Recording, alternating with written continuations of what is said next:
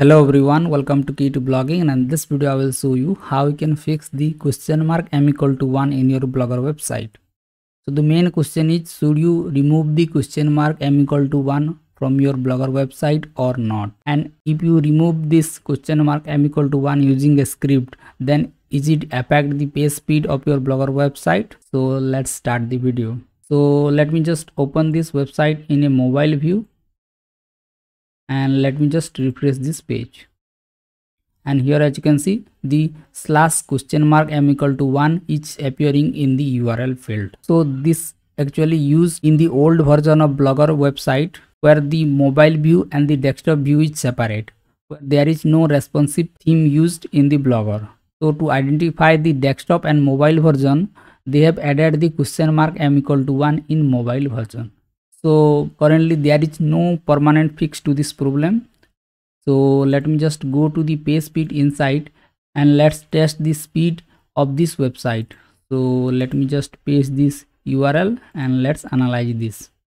Okay as you can see the page speed is around 83 and it is redirecting to the question mark m equal to 1 so let me just scroll down and let me just see the avoid chaining request and here as you can see the home page is redirecting to the question mark m equal to 1 and let's scroll up and click on the initial server response time.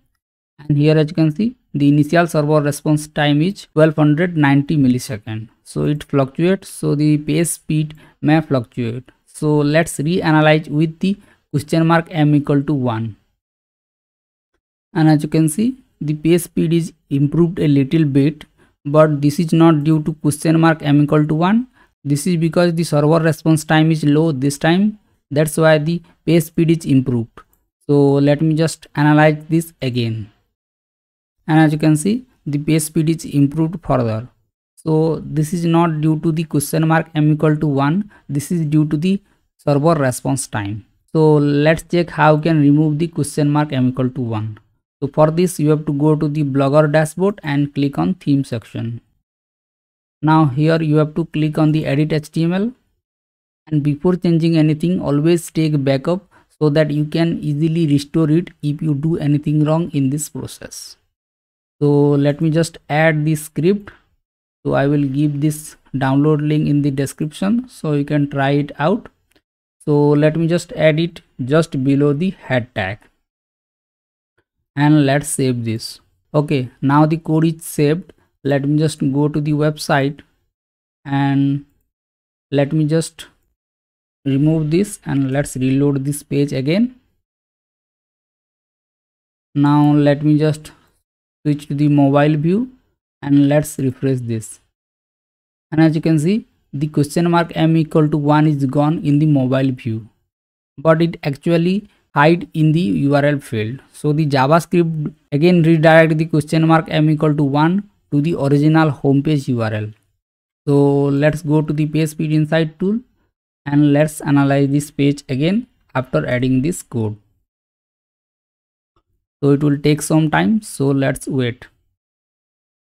So let's scroll down and here as you can see the page is redirecting to the question mark m equal to 1 but when i check the front end it will not show the question mark m equal to 1 in mobile devices.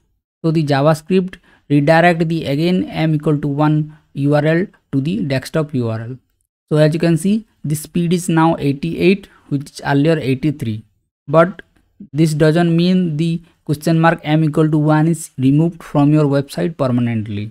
And here as you can see the question mark m equal to 1 redirection is still there.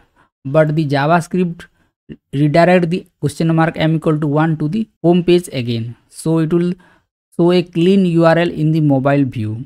So if you want to display a clean url to the user when they visit your website from mobile devices then you can use this javascript.